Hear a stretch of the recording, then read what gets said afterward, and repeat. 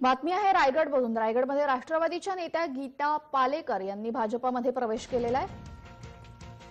राष्ट्रवादीच्या नेत्या गीता पालरेचा भाजपामध्ये यांचा भाजपामध्ये प्रवेश. राष्ट्रवादी काँग्रेसला रायगडमध्ये मोठा धक्का बसलेला आहे. अनेक ग्रामपंचायतींचे सदस्य उपसरपंच सरपंच यांच्यासह तीन नगरसेवक आणि राष्ट्रवादी काँग्रेसचे पदाधिकारी यांच्यासोबत आज गीता पालरेचा यांनी भाजपामध्ये प्रवेश केलेला आहे.